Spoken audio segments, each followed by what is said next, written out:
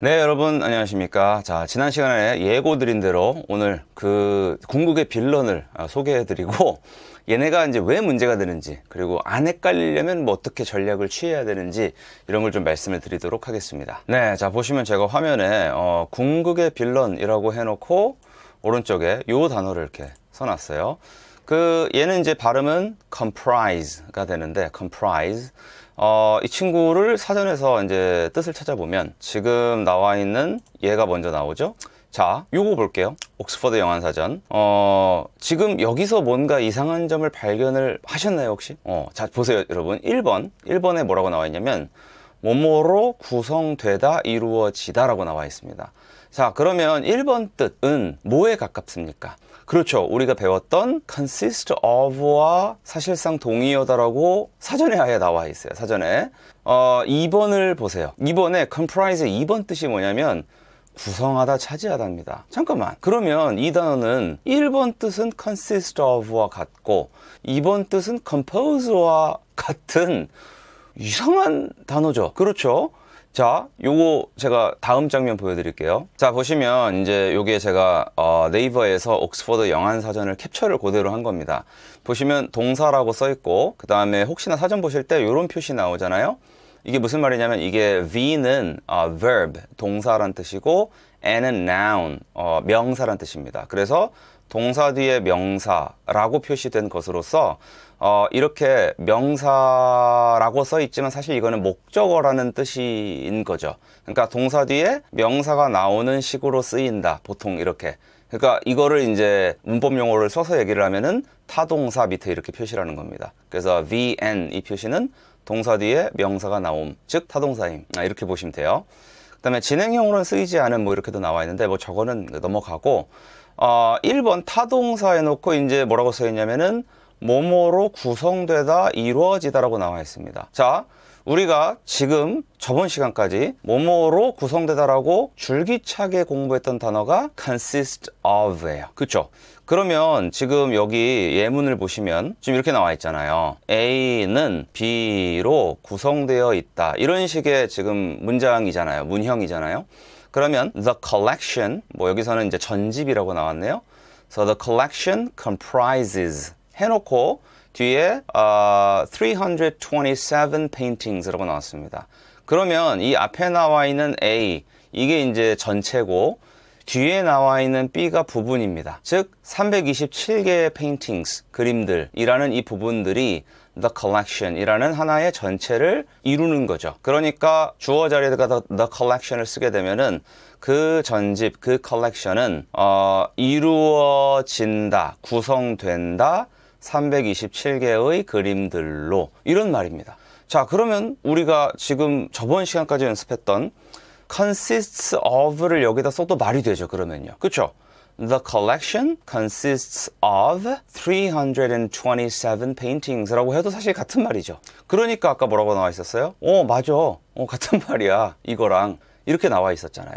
근데 지금 요 괄호 안에 있는 요 표시 보십시오, 여러분. 이거 봐봐요. be comprised of 이렇게 써 있죠. 그러니까 이거는 뭐냐면 comprise를 가지고 수동태에 쓰는 그런 경우에는 비동사 뒤에 comprised를 쓰고 of를 붙인 다음에 뭐 뒤에 뭘 붙인다라는 그런 표시잖아요.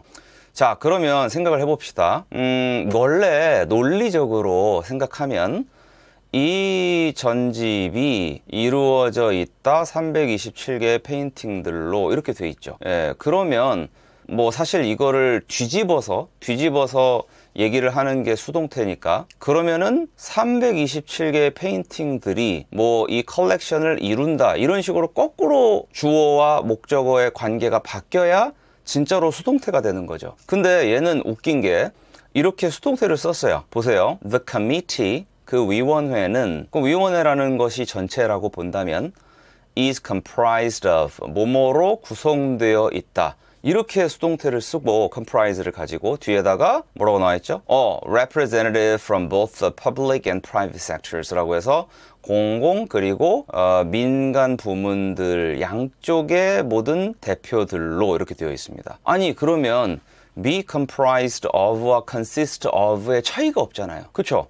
그러니까 이게 말이 안 되는 단어인 거죠. 생각해 보세요. 아니, comprise가 원래 이 전체는 뒤에 나오는 부분들로 이루어진다, 구성된다란 뜻이잖아요. 근데 얘를 수동태로 바꿔도 또 그 뜻이야. 이게 논리에 안 맞죠. 그러니까 제가 여기다가 코멘트를 살짝 뭐라고 달았냐면요. 아니, 아, 능동태와 수동태가 모두 자신의 형태를 간직하고 까지는 괜찮아요. 그러니까 우리가 어떤 단어를 가지고 그 PP라는 걸 만들어서 수동태를 쓰잖아요. 근데 중요한 거는 그러면 주어와 목적어의 관계가 서로 바뀌어야 될 거 아니에요. 그렇죠. 예를 들어서 여덟 개의 도들이 한반도를 구성한다. 이게 말이 되려면 한반도는 구성된다. 여덟 개의 도들로. 그렇게 돼야 말이 맞잖아요. 즉, 이 A, B의 관계가 이렇게 뒤집어져야 능동태와 수동태인 게 서로 반대인 거 아닙니까? 근데 얘는요, 능동태, 수동태일 때 주어와 목적어의 관계가 똑같습니다. 그러니까 부분과 전체가 서로 안 바뀌어요. 위에 보세요, 다시. 그렇죠? 그러니까 되게 좀 비논리적인 단어예요, 사실. 그러니까 이거 원어민들은 어 이런 그냥 문장이나 이런 말을 살면서 그냥 여, 너무 많이 듣고 읽었으면 무리 없이 쓰겠죠. 왜냐하면 이렇게 써도 맞고 자기가 경험해 본 바에 의하면 이렇게 써도 맞고 자기가 경험해 본 바에 의하면 근데 문제는 뭐냐면 그러면 우리 같은 비원어민들이 어, 어떤 외국어를 배울 때 모든 걸 경험으로 습득할 수는 없습니다. 그렇죠? 그러니까 이론적으로 아주 법칙이 딱 맞아 떨어지는 그런 단어들일수록 그 비원어민들이 훨씬 습득하기가 쉽죠. 그렇게 따지면 comprise는 애초에 그 네이티브가 아닌 영어 원어민이 아닌 우리들 입장에서는 헷갈릴 수밖에 없는 그런 단어입니다. 이런 단어가 어디 있어요, 그렇죠? 너무 비논리적이죠. 그래서 개인적으로 저는 어떻게 생각하냐면 얘가 좀 특이한 것 같아요. 왜냐하면 언어는 생물이랑 똑같습니다. 어, 가장 최근에 발간된 어, 출판된 언어학 전문서 중에 하나가 진화하는 언어라는 책이 있어요. 제가 요즘 읽고 있고 지금 3분의 2 정도 읽었는데 어, 뭐 관심 있으신 분들 한번 읽어보세요. 근데 뭐 비전공자한테 조금 어려울 수는 있어요. 예전에는 언어라는 거를 수학으로 많이 봤어요. 뭐 1900년대 어, 초반부터 해서 1800년대부터 해서 1900년대 초중반까지 막 그런 학자들이 많았고 그래서 막 이 언어란 것도 결국은 수학적 약속의 어떤 그런 거다 이렇게. 근데 이제 점점 이게 생물학이나 이런 게 막 들어오고 뇌과학이 들어오면서 어, 언어가 뭐가 좀 그거랑 안 맞는 게 많이 있다라는 게 이제 나옵니다. 그래가지고 이 언어학 이론에서 이제 얘기하는 것 중에 하나가 보통 생물은 어떻게 되냐면 진화하는 과정을 보면요. 어떤 어, 변이가 발생하고 그 변이 중에 더 생존에 유리한 변이는 살아남고 생존에 불리한 변이는 사라지죠. 그 이걸 보고 우리가 진화라고 부르잖아요. 그러면 저는 개인적으로 어떻게 생각하냐? comprise가 이거 하나로만 쓰이든가 이거 하나로만 쓰이든가 해가지고 둘 중에 하나가 더 우세해가지고 뭐가 살아남고 하나는 없어지는 쪽으로 아마 지금 가고 있는데, 그러니까 지금 그 과정 중인데, 아직 결판이 안 난 것 같아요. 왜냐하면 이렇게 되면 이 언어적 논리로 봤을 때는 이게 너무 비논리적이니까 이, 이 단어 자체가 그렇잖아요. 자기가 능동태로 쓰이나 수동태로 쓰이나 주어와 목적어의 그 관계가 똑같이 있는 경우가 어디 있어요, 사실. 그렇죠? 그러니까 지금 이거는 사실 문제인데 아직 뭐 하나가 더 우세하지가 않아서 뭐 반반씩 쓰이고 있어서 아직 결판이 안 난 상태로 아마 어, 먼 미래에는 하나만 살아남겠구나라고 저는 개인적으로 생각합니다. 그래서 이걸 알아볼 수 있는 방법이 딱히 없어요. 뭐 물론 통계를 찾으면 있기야 있겠지만 그 어떻게 이걸 찾아요, 그렇죠? 그래서 저는 먼 미래에는 이거나 이거 중에 하나만 남고 사라질 거라고 생각합니다. 문제가 되게 많아요. 왜냐하면은 지금 보시면 또 이것도 있잖아요. Older people comprise a large portion of those living in poverty. 이 그 빈곤 안에 살아가고 있는 그들의 아주 큰 부분 뭐 이렇게 그러면은 사실은 빈곤의 큰 부분 이라는 어떤 전체 집합이 older people로 인해서 구성된다는 얘기죠. 그러면 이 자리에 여러분 사실은 어, compose를 써도 말이 돼요. 그렇죠. older people compose 하고 뒤에다가 써도 말이 됩니다. 물론 이게 실제로 쓰는지 안 쓰는지 이거는 좀 별개의 문제로 봐도 논리적으로는 그래요. 그런데 이게 보면은 그렇게 따지면 이게 전체고 이게 부분이죠. 이 집합 안에 여기가 들어가는 거니까.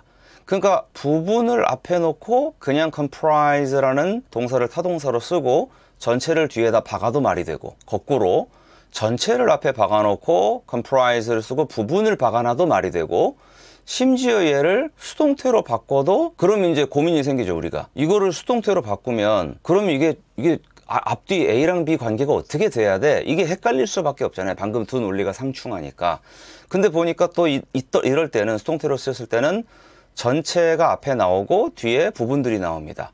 그럼 이걸 어떻게 외워요? 솔직한 말로. 그래서 제가 여러분한테 혹시 위안이 될, 될까 싶어서 말씀을 드리면 진짜 저도 대학, 아, 대학 시절에 너무 짜증이 나는 거예요, 인간적으로. 그 이 단어가 또 많이 씁니다. 또 학자, 학술적인 용어로 많이 쓰여요. 그래서 개인적으로 저는 이랬습니다, 그냥. 저 대학 시절에, 예, 그 consist of와 compose와 comprise가 너무 헷갈려 가지고 저 그냥 이거 하나만 썼어요. 이거 하나만 쓰고 나머지는 그냥 그때그때 찾아보거나 안 쓰거나 그랬습니다. 그래서 여러분 중에는 분명히 저보다 머리가 좋은 분들도 계실 테니까 여러분이 만약에 능력이 되시면 저거를 다 그 비논리를 다 뛰어넘는 이해력을 갖고 다 습득하셔도 좋지만 만약에 뭐 저처럼 평범한 사람이라면 제일 내가 많이 쓸만한 애 하나를 그냥 익히시는 게 더 실익이 있을 수도 있어요. 네. 그래서 제가 이렇게 어, 말씀을 드린 거고 그러나 일단 제가 세 가지를 다 일일이 보여드리기는 해야 된다고 생각합니다.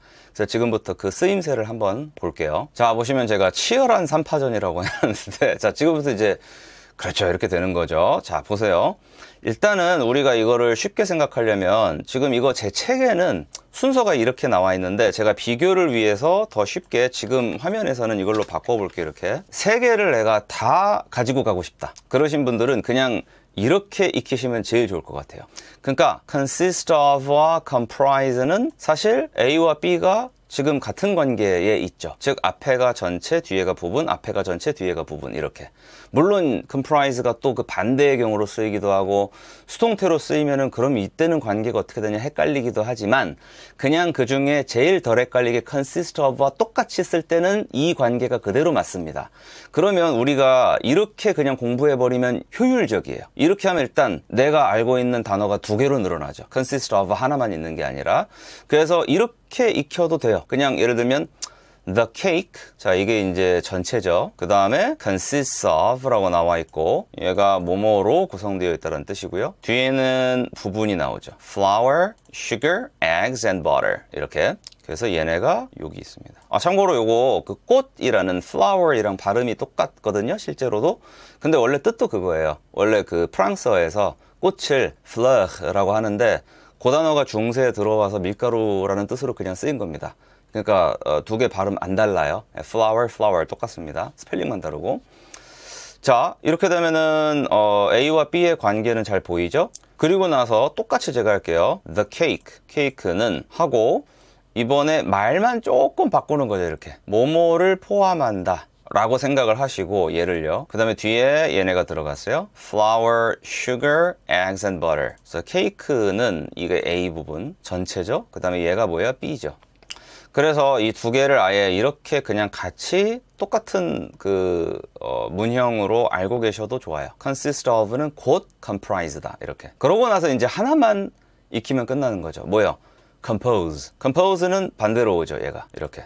Flour, sugar, eggs and butter. 얘가 지금 부분이죠. 이 부분이 앞에 주어로 왔고 compose라는 동사가 뭐뭐를 구성한다 이런 말이고 그 다음에 뒤에 the cake 전체가 왔습니다. 이렇게.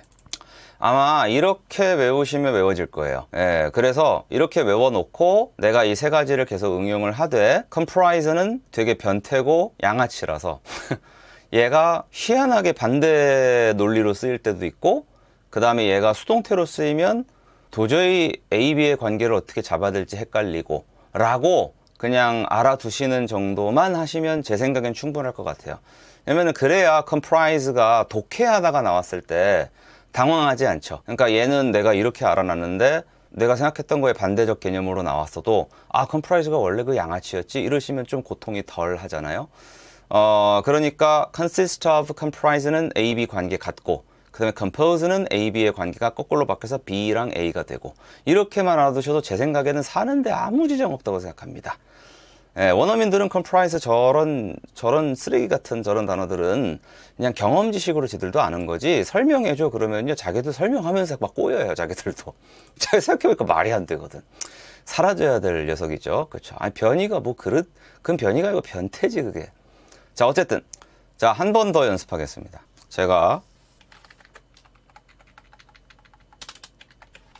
제가 지금 이렇게 썼는데 자, 어, year 1년은 그렇죠? 전체 하고 부분이 나오죠. 12 months 이렇게. 그 다음에 뭐뭐로 구성되어 있다라는 consists of가 나와 있습니다. 그리고 어, year 전체가 나오죠. 주어 자리에 1년은 12 months 12개월 얘가 이제 부분이죠. 그 다음에 를 포함한다 라는 식으로 되어 있죠. 자, 이렇게 되면 아까 위에서 봤던 대로 consist of와 comprise의 관계, comprise를 썼을 때 A와 B의 관계는 이렇게 된다. 앞에가 전체, 뒤에가 부분 이렇게요. 그 다음에 compose는 반대죠. 즉 부분이 앞에 나오고 주어 자리에 12개월이 그 다음에 구성한다, 모모를 구성한다란 동사가 compose인 거예요. 그리고 a year이라고 해서 전체가 그 뒤에 나오죠. 오케이, 자 좋아요.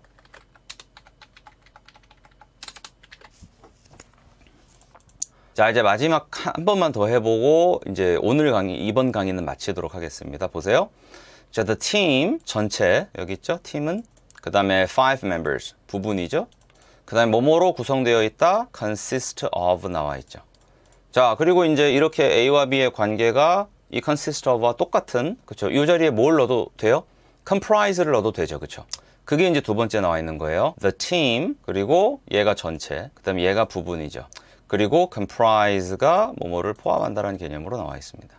자, 그리고 이제 compose는 관계가 반대예요. 즉 앞에가 부분, 주어가 그 다음에 뒤에 뭐가 나와요? 전체가 나오죠. 그래서 다섯 명의 멤버가 이 주어 부분이 전체를 구성하는 부분이고 팀을 팀 이게 이제 전체죠.